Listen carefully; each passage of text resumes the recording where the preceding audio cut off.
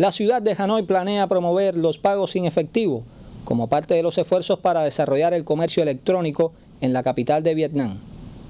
Según un plan emitido recientemente por las autoridades municipales, la ciudad apunta a fines de este año a que se acepten pagos sin efectivo en el 90% de las tiendas minoristas morenas, los servicios de agua, electricidad y telecomunicaciones, así como una cuarta parte de las estaciones de petróleo.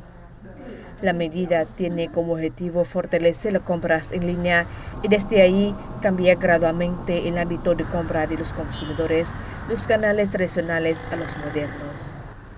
La capitán también alienta la utilización de las plataformas de comercio electrónico en los negocios y las empresas emergentes con un enfoque en mejorar el sistema logístico para este servicio.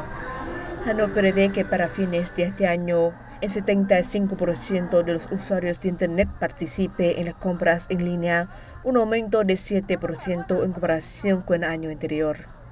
También se promoverán los servicios en línea para el transporte, como la reserva y compra de boletos y pedido de taxi, así como en la educación, la atención médica y las actividades de comunicación e Internet.